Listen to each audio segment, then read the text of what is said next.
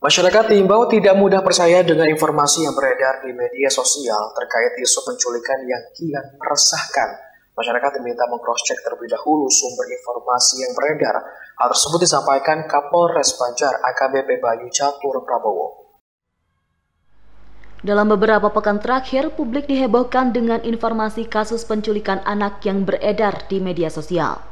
Luasnya penyebaran informasi yang belum tentu kebenarannya tersebut membuat masyarakat resah. Tak sedikit para orang tua yang termakan informasi hoax atau bohong terkait penculikan anak. Seperti informasi bohong yang beredar di dunia maya tentang penculikan anak di wilayah Kecamatan Purwoharja Banjar beberapa hari lalu.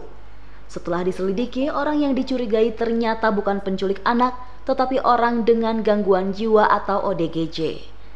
Menanggapi hal tersebut, Kapolres Banjar AKBP Bayu Catur Prabowo mengimbau masyarakat untuk tidak mudah percaya dengan informasi yang beredar di media sosial. Menurut Kapolres, informasi yang beredar di media sosial belum tentu benar. Hingga saat ini Kapolres Banjar menegaskan pihaknya belum menerima laporan terkait kasus penculikan anak. Harap masyarakat yang terlalu resah dengan isu yang berkembang karena belum tentu isu pun itu pun benar.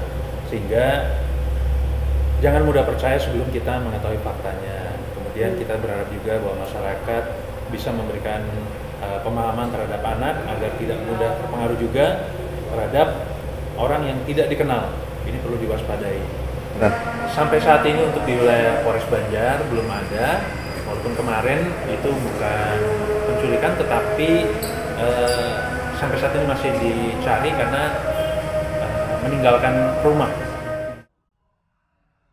Meski demikian, Kapolres meminta para orang tua untuk lebih meningkatkan pengawasan terhadap anak saat bepergian keluar rumah, serta tidak menggunakan barang-barang berharga yang dapat memancing aksi kejahatan.